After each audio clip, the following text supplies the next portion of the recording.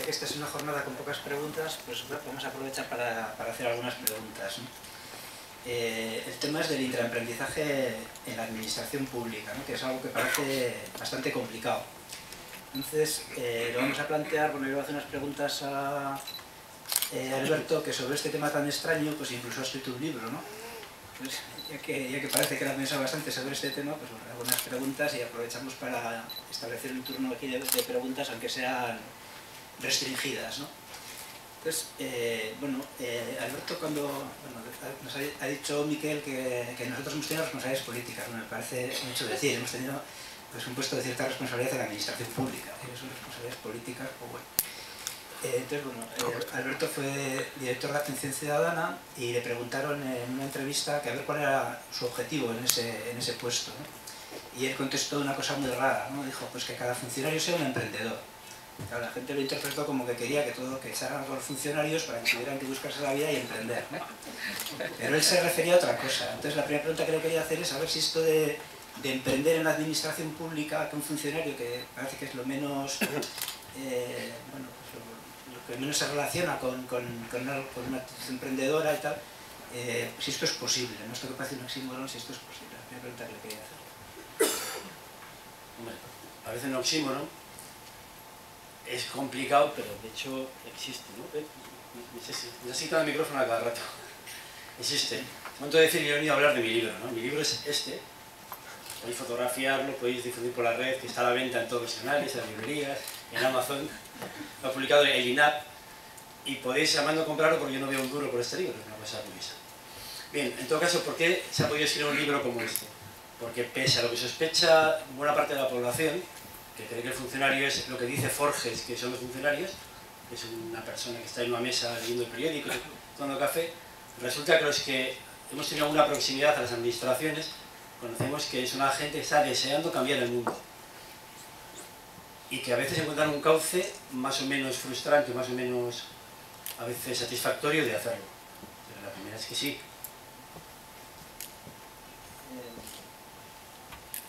Sí, bueno, la, siguiente pregunta que quería hacer Alberto es eh, ¿qué es lo que puede mover a un, funcionario a querer emprender? ¿no? Porque un funcionario pues en principio tiene la vida fácil, tiene un sueldo fijo a final de mes y no tiene por qué complicarse la vida. ¿no? Eh, fichas a la entrada, fichas a la salida, haces tu trabajo más o menos y no, tienes por qué liarte más la manta. ¿no? Entonces, ¿qué es lo que le puede llevar a un funcionario a querer emprender dentro de la administración, cambiar las cosas y complicarse un poco la vida? Bueno, contra de lo que la gente cree, a las personas no nos gusta estar cómodos. Se habla mucho de la zona de confort, eso no es verdad. La gente lo que le gusta es cuando sale de trabajar y se junta con la cuadrilla, dice, mira, hoy hemos hecho no sé qué, y hemos cambiado no sé cuántos. Le gusta presumir de lo que hace en el trabajo. Y esto que, que para unos es evidente, para otros no es tanto. A la gente le apetece meterse en fregado y hacer cosas interesantes. Lo no le apetece pasarse 40 años de carrera profesional haciendo lo mismo, de la misma manera, van decayendo, se nos cae el pelo, perdemos la visión, bueno, a la gente le apetece estar activa, estar viva. Y esto es así en cualquier profesión, en la administración también. Y además, hay una cosa que empieza a emerger en la investigación y todavía no es concluyente, pero me gustaría que se investigara más.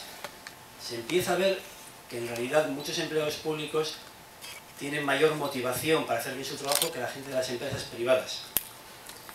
Y aquí, bueno, antes hablando con Pedro, habría mucho que hablar. Claro, no es lo mismo ser médico que ser eh, barrendero, y no es lo mismo una empresa como Iberdrola que una startup como las vuestras donde metís 27 horas, ¿no? Pero me parece interesante que se pueda entrar en juicio el estereotipo de que, de que el funcionario, esto es una pregunta ahí, de que el funcionario tiende a no hacer nada. Pero lo cierto es que posee mayor motivación intrínseca. ¿Esto qué es? Es que es más satisfactorio para cualquiera dedicarse a mejorar la vida de sus semejantes que a vender más, más Coca-Cola, por ejemplo. No sé si me explico. Más fácil sentirlo como propio y más satisfactorio ver que lo que has hecho ha tenido alguna repercusión en que tus conciudadanos vivan mejor. Te hacemos una pregunta, que la lance ahora, ¿no? ¿Me permites que os diga una cosa? 21 años en la función pública. ¿eh? Soy el más humilde funcionario. ¿Sabéis lo que es una auditoría social? Sí. Sí. ¿Cuántas auditorías sociales ha recibido? Y yo no soy del gobierno central, eh, perdón, soy del gobierno central del Vasco, ¿vale? Parece que los funcionarios de, de, de la Administración Central no somos vascos, no sé por qué.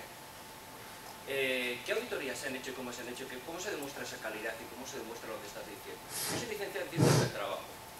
Cuando hacemos ese análisis y lo hacemos Aquí, espera, que se oiga bien. estadísticamente, cuando hacemos ese análisis científicamente y estadísticamente, realmente te ha salido eso. Lo podemos demostrar. Hacemos una estadística, la, la hacemos pública. Yo me comprometo a hacerla pública. No sé si te he seguido del todo. No lo he entendido bien. ¿Perdón? Te lo No he entendido bien la cuestión, por favor. Vamos. Voy a repetirlo. Vamos a ver. Eso que has dicho está muy bien, es muy bonito. ¿bien? Yo no me voy a entrar en el gobierno vasco, no voy a entrar que yo tengo amigos dentro de su señal, por ejemplo. No, no voy a entrar dentro, ¿verdad? Ni en la CUA, tampoco voy a entrar dentro. Voy a hablar, por ejemplo, de mi administración central que os da servicio a vosotros, que por ejemplo os paga las pensiones o paga, os paga las bajas. ¿Eh? ¿Qué auditoría social se ha hecho? No solo no se ha hecho, sino algunos ¿eh? estamos castigados en zulos porque le decimos a la administración que no es transparente, y no solo que no es transparente, sino que es absolutamente opaca. ¿Verdad? Y si divulga la ley de la transparencia, seguramente alguna parte habéis tomado en, en ella, ¿verdad? Yo llamo la ley de la opacidad. Con todo el cariño y todo el respeto, eh, a- eh, creo que cuando hablamos de ciencia y hablamos de estadística, hablamos de demostración, habrá que hacerlo. Eh, Está muy bonito lo demás. Disculpe, sigo sin entender la pregunta, porque si hay algún criterio estadístico claro, por ejemplo, en España el nivel de funcionarios es, después de la- del último tema, 3 millones de funcionarios, mientras que en Francia son 5 millones y en el Reino Unido 6 y medio.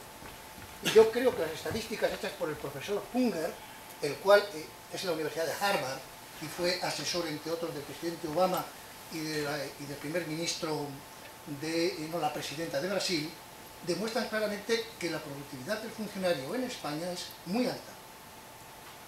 Eh, la Unión Europea, perdona. disculpe, yo estoy dando los datos que usted pedía, estadísticos, y le digo las referencias, porque yo sí me Yo gusta a- los contradatos. yo, yo, pero me gusta ir al dato. Es que no, no, yo no, no quiero hacer con usted ninguna contro- controversia de ningún tipo. eh, Nada más me gustaba ir al dato. Eh, soy muy respetuoso con el dato, si no todo lo demás se desmonta. Eh, esos son datos ciertos, lo que yo les digo. La Unión Europea, y este no es un dato cierto, sino es una valoración, también el mismo profesor Hunger llamaba en los primeros años de la Unión Europea, los años que España se incorpora, los bávaros del sur, a los funcionarios de España. La calidad del funcionario español es normalmente bastante alta. Y lo que hablábamos antes con estos señores es que el funcionario tiene un problema de comparación de homogeneidad estadística, que el nivel de los que entran es alto, es decir, peones hay muy pocos, mientras que en el resto hay mucho peón. Por lo tanto, las muestras estadísticas darían eh, sesgos de difícil homologación. Por si le sirve, ¿eh? Bueno, eh, yo me comprometo a hacerlo público, usted lo hace público y yo lo hago público. Que sea la población, que es en la, la teoría en la que, a la que se le sirve, que lo vea. ¿De Bueno, usted está hablando ya de valoraciones que yo no entro. Yo hablo de estadística, hablo de matemática, usted no, habla también, ¿eh? de Eh, Harvard y yo hablo Yo también de, hablo de de eso, lugares ¿eh? mucho más humildes, pero cuya certeza y probabilidad se puede demostrar. No, no, ya, yo no quiero entrar en más polémica. Nos dicen por ahí que, que tiempo, ¿no? Bueno, la, la verdad es que te agradezco la intervención porque esto que estaba pensando, esto que estamos contando le puede interesar a esta audiencia, tenía pues mis dudas, ¿no? Y, la intervención tuya yo creo que anima un poco el debate, ¿no? Y es la realidad, porque a veces igual estamos hablando de, de, de intraemprendedores y de gente que dentro de la administración pues se cree su vocación social y hay muchos funcionarios que se la creen y quieren cambiar cosas y quieren hacer las cosas bien, esa es una realidad, y quieren hacer las cosas bien y quieren cambiarlas porque no les gustan las cosas como están, que, que yo creo que es un poco por donde va tu tesis, ¿no? de que la administración eh, bueno, pues tiene mucho donde mejorar, hay muchas cosas que habría que hacer de otra manera, el mundo en los últimos no sé cuántos años decir, 100 años, 50 años, incluso 20 años ha cambiado mucho. Y la administración pues yo creo que ha cambiado pues menos. Y el sistema político pues yo creo que ha cambiado todavía menos ¿no? y al final eh, la administración no deja de ser un instrumento eh, que el sistema político utiliza pues para llevar a cabo las, políticas sociales en las que en un modelo teórico se supone que el ciudadano, la, la ciudadanía les ha votado para que desarrollen esas políticas, ¿no? y esas políticas se desarrollan pues, a través de las administraciones públicas, ¿no? y tienen que ser un instrumento, pues sobre todo útil para desarrollar las políticas que haya que, desarrollar. Entonces, eh, yo creo que el, el sentido que tiene el intraemprendizaje público precisamente es que hay gente desde dentro que, que tiene la inquietud por cambiar esa realidad que no le gusta. Como, como, intuyo que por tu intervención pues a ti tampoco te gusta. Entonces lo que estamos contando es que hay personas que dentro de la administración sí tienen esa inquietud, nada más. Eh, ¿Hasta qué punto se están cambiando las cosas? Bueno, yo en la administración llevo 30 años, o sea, la administración en la que trabajo ahora y la que conocí hace 30 años, pues ha cambiado bastante. A veces eh, el cambio es tan el, el, el, cambio está tan metabolizado que no nos damos ni cuenta de que, de que ha cambiado, pero las, las, las, cosas que hacemos en el trabajo desde que entramos por la mañana hasta que salimos por la tarde son completamente distintas ahora y hace 30 años. Ahora lo primero que hacemos cuando llegamos es encender el ordenador. Hace, hace no 30, hace 20 años estaba el debate de, de gente que decía yo no voy a usar nunca el ordenador. O sea, y ahora eso, la, la, gente ya ni se lo plantea, no, no se da ni cuenta de lo que ha cambiado porque ha, porque ha metabolizado el cambio todo cambia, incluso la administración, pero es verdad que, que hay muchas cosas que, bueno, pues que, que queda mucho camino, mucho camino por hacer y yo creo que es bueno que el impulso del cambio venga desde todos los, desde todos los ámbitos, ¿no? Y el primero tiene que ser la ciudadanía, que la ciudadanía muchas veces igual tampoco se implica y tampoco eh, ejerce la, la, influencia que debería de hacer para que las cosas cambien todo lo que deberían de cambiar, ¿no? Que yo creo que es el primer, el primer agente del cambio, ¿no? Y creo que los funcionarios que pasamos tantas horas dentro de la administración, pues también nos corresponde un papel, aunque digamos que la legitimidad democrática o la soberanía no reside en los funcionarios, evidentemente reside en la ciudadanía, pero los funcionarios por el tiempo que pasamos ahí, aparte de hacer nuestro trabajo bien, yo creo que, bueno, pues que también tenemos derecho a, a, ser agentes del cambio, ¿no? de hecho yo incluso diría que obligación. No sé, no sé si te, te contesto algo a, a, lo que has planteado, igual eh, Alberto te contesta algo más o algo mejor. Me parece correcto que la vía va por ahí, el mensaje sea constructivo, pero desde luego tiene que ser desde una crítica seria, porque si servimos a la sociedad, desde luego tenemos que ponernos la pila y no autocomplacencias que no van a ningún lado, en mi opinión. No, no, perfecto. Es que la pregunta que iba a hacer ahora Iñaki era, más o menos la, a que tú has ido respondiendo, ¿no? Hemos hecho un guion en el pasillo, improvisado, y mira, primero vamos a preguntar por si es posible el intraaprendizaje y luego vamos a preguntar por qué obstáculos tiene el, el intraaprendizaje, con lo cual tú en parte lo has abierto, ¿no? ¿Me vas a hacer la contesto directamente? Sí, bueno, pues eh, vaya, tenemos que poner el micrófono. No, que precisamente es eso, ¿no?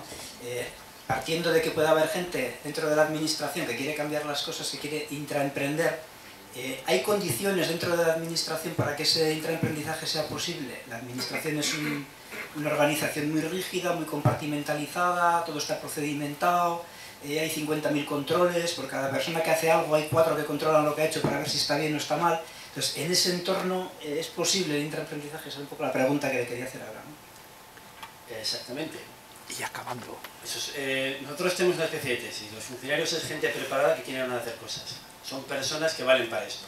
Ahora bien, el entorno en el que están no es más favorable. Probablemente en Ideateca sea más fácil emprender que, no sé, que en el gobierno vasco, por decir lo que conocemos. ¿no?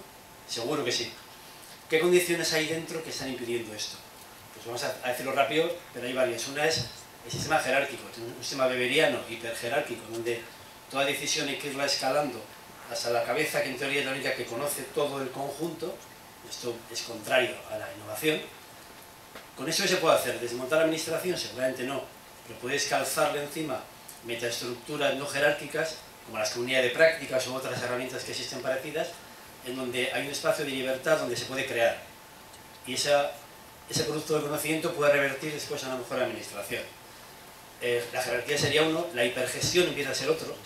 Estamos demasiado obsesionados con cosas como la FQM y acabas queriendo predecir todo un comportamiento que es imposible de predecir y, es contrario a la innovación.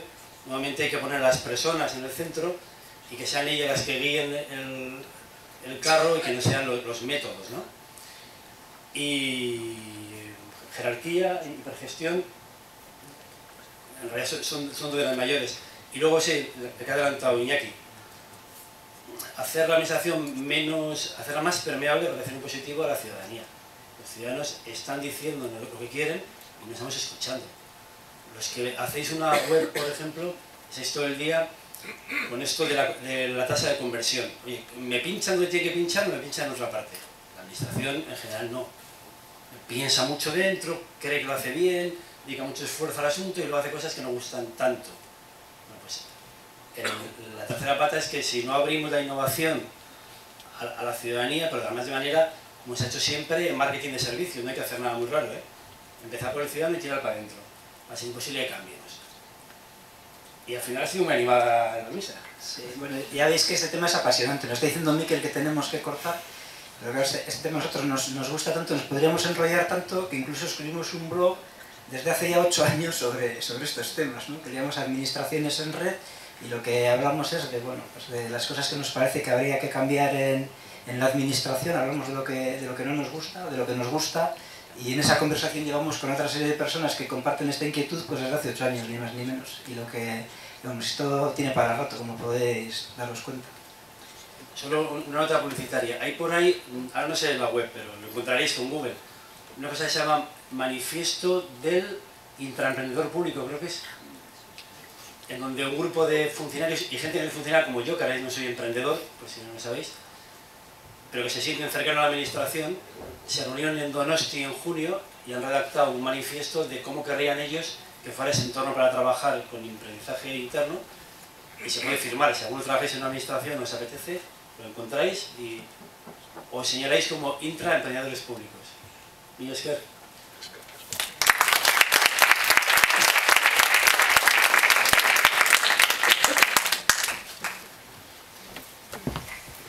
Eh, vamos a pasar, eh, estamos justos de tiempo.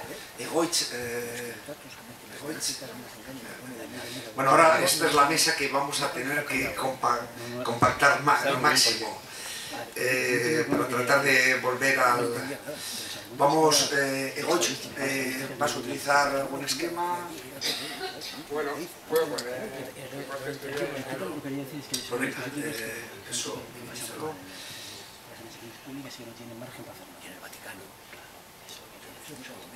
Goicoechea es eh, responsable, eh, yo creo, es SEO de, de Vocento, ¿no? en el correo, en el correo.com, y es un experto, aparte de un blogger eh, viajero y demás. Y nos va a dar algunas, algunos trucos para mejorar el posicionamiento de los blogs. Muy rápidamente. A ver, eh, voy a dar trucos muy sencillos para gente que escribe en un blog y por lo menos sabe ver el código fuente. Y entonces, lo que os voy a decir son eh, cosas muy sencillas que con hacerlas posicionas muy bien. O sea, eh, la primera cosa que, que me quiero decir es que cada vez que hagáis una página o un post, no escribáis luego otra sobre el mismo tema. O sea, para escribir de un tema siempre una misma URL. ¿Por qué? Porque si no Google no sabe cuál es la importante si tienes dos.